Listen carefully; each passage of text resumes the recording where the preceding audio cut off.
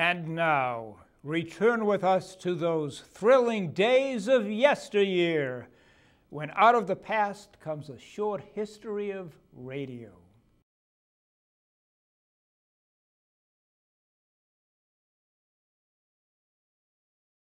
Let's talk about radio. No, not that kind of radio. The kind of radio Needham residents of a certain age will say, Hey, I remember those sets. We had one in our house when I was growing up. Other Needham residents of a certain age will say, What in the world is that? Radio was first introduced commercially around 1910. There were no circuits, no internet, there were just glass covered vacuum tubes, wires, dials, and a speaker. Radio changed the American landscape and unified the nation. President of the United States. Five years of fierce discussion. The concepts of many new television shows that you see today were created for radio about 70 years ago. All the singing talent shows you see are offshoots of radio's Arthur Godfrey's Talent Scouts. Here they are, ladies and gentlemen, the Drifters. He's just a sentimental gentleman from Georgia. And Major Bowes' original amateur hour.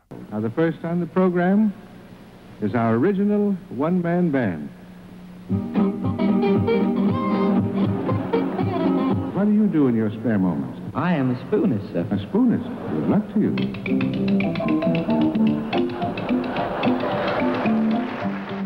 Radio had quiz shows like 20 Questions, the Whiz Kids. And here they are, the Quiz Kids, your own chief quizzer, Joe Kelly. Well, speaking of battles, we have a real one lined up for you today, friends. Quick as a flash. Quick as a flash. Time to wind up your mind with Helbros. You bet your life. The DeSoto Plymouth Dealers of America present Groucho Marx in You Bet Your Life, the comedy quiz series produced and transcribed from Hollywood. And here he is, the one, the only. What a ham. Oh, that's me, Groucho Marx. Radio had daytime serials or soap operas because most of the sponsors were soap companies. Women tune into the problems of Ma Perkins, young Widow Brown, Pepper Young's family, Mary Noble, backstage wife, and young Dr. Malone, just to mention a few. Radio had talk shows with prominent people of the day discussing important events. It's a terrific crash, ladies and gentlemen. The smoke and the flames now, and the flames rising to the ground, not quite to the mooring mast. All the humanity and all the... Yesterday, December 7th, 1941, a date which will live in infamy. America went to war. Radio broadcast play by play football and baseball games and broadcast boxing matches. Acclaimed announcer is Graham McNamee. Good afternoon, ladies and gentlemen of the radio audience. This afternoon, and Bill Stern did many of the games. Now Davis. Davis is fading back. It's an army pass. There's an army pass down the goal. And intercepted by Notre Dame. Radio also had news shows by famous broadcasters such as Walter Winchell.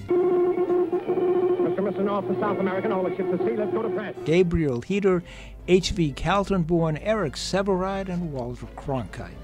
The golden age of radio ran from about 1936 or 37 to around 1947. Radio had comedy shows like The Jack Benny Show. Jackson, yeah, look, Mary, you don't have to make any outside dates. While we're in New York, I'm going to take you around. Oh, sure, just like last year. Before we left California, you said, Mary, when we get to New York, I'm really going to show you the town. Well, I did, didn't I? Yeah, from the top of the Empire State Building. well, they don't let you up there for nothing, sister. The Fred Allen Show. Tell me, Mr. Moody, what are your feelings about the radio? I don't hold with it, Bub. It displeases you? I don't hold with furniture that talks. Well, you you have a radio. No, I had one in the hen house. Yeah? One day, all the hen's nests would be empty. Uh-huh. Next day, every nest would have two eggs into it. You mean? The hens was listening to Double or Nothing. Yeah. The Red Skelton Show, the Bob Hope Show. But I really had a wonderful trip. Wherever I went, the soldiers toasted me, and now I'm back. A guy can stand getting hot, but for just so long, you know. You know, the weather down there is like it is here. Of course, they have a light sprinkle now and then. Light sprinkle, that's South Pacific. For man, the boats, boys, the island disappeared again. Radio had drama and mystery shows like Mr. District Attorney, Gangbusters, Nick Carter, Master Detective, Suspense, Lights Out, Inner Sanctum, and The Shadow, played by Bret Morrison.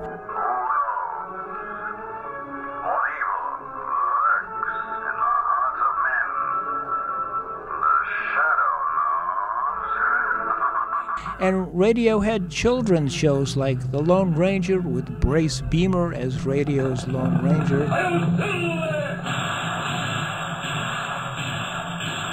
fiery horse with the speed of light, a cloud of dust, and a hearty hi silver. The Lone Ranger. Superman with Bud Collyer as the Man of Steel. The Adventures of Superman. Faster than a speeding bullet. More powerful than a locomotive able to leap tall buildings at a single bound. Look, up in the sky. It's a bird. It's a plane. It's Superman. And the Tom Mix Ralston Straight Shooters with Curly Bradley as radio's Tom Mix. Here comes Tom Mix, America's favorite cowboy, with another throwback Western adventure program. Up to me, come on, boy. Shredded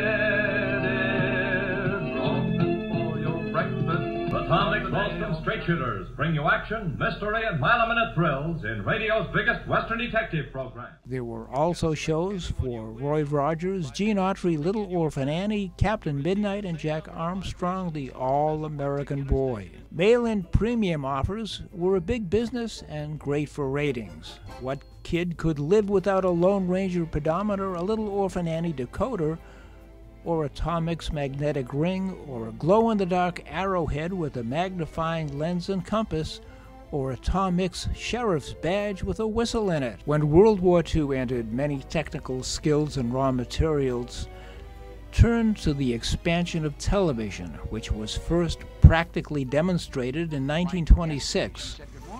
Around 1947, many radio shows and performers easily made the transition into television, such as Red Skelton, Bob Hope, Milton Berle. Oh, we're the men of Texaco. We work from Maine to Mexico. There's nothing like this Texaco of ours. Our show tonight is powerful. We'll wow you with an hour full of howls from a shower full of stars. We're the merry Texaco men. Tonight we may be showmen. Tomorrow we'll be servicing your cars. Jack Benny, Burns, and Allen, but some didn't fare as well, like Henry Morgan and Fred Allen. They just couldn't find a comedy format that was right for them. Radio adapted with the times, and now there are more stations and formats than ever. There's all talk, all news, all jazz, all country, all comedy, all, well, whatever. Well, it's time to end this segment and say goodnight. Perhaps George Burns and Gracie Allen can say it best. Gracie, say good night. Good night. Good night, and thank you. The golden age of radio came to an end around 1947 or 1948, but it was just the beginning for the golden age of television, the birth of computer technology and telecommunications. The exploration of space was just around the corner. Well, who knows what's just around the corner today, so turn on your radio, fasten your seatbelts, and hang on.